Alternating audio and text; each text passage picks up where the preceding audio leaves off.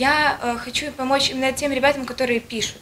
Это вот именно литература. Это могут быть как стихи, как тексты для песен, так и какая-то проза, сказки, рассказы. Искреннее желание помочь талантливым ребятам основано на личном опыте. В свои 15 брещанка Дарья Еромич не просто школьница. В копилке девушки уже две электронные книги, вышедшие в свет благодаря издательству «Эксмо».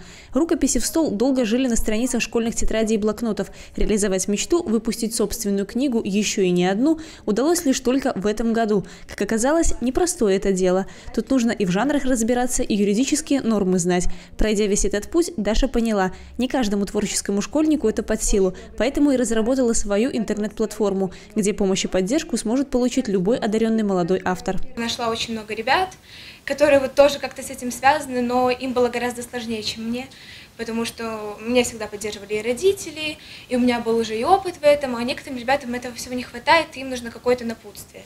И вот поэтому я решила создать такую интернет-платформу, где будет вся самая нужная информация, где они смогут найти единомышленников, где будут педагоги в этой сфере им помогать, так, чтобы э, развивать белорусскую литературу, потому что очень мало белорусских авторов, и помогать э, ребятам не закопать свои таланты. Но создать проект – это половина дела. Важно уметь его грамотно презентовать, чтобы заинтересованность появилась и у членов жюри. Городской этап республиканского конкурса «100 идей для Беларуси» стал местом встречи талантливой молодежи. И каждый из представленных проектов с определенной степенью готовности имеет право на жизнь. Это у нас уже десятый сезон, десятый юбилейный сезон а, данного проекта.